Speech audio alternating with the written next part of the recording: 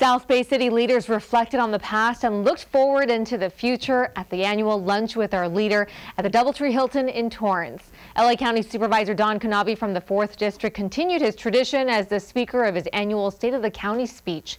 He tackled tough topics over the years, working hard to make child sex trafficking a national issue and help people realize it's happening right in their backyards. He says even though a lot has been accomplished, there is still much to do when it comes to libraries, uh, clinics, community centers, to make sure that the people really get the services they deserve or upgrades to existing.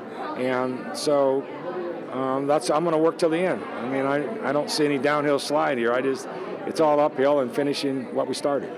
These are just good events for people in the public to understand what's going on in the community, uh, to keep in touch with uh, the issues that are, are important.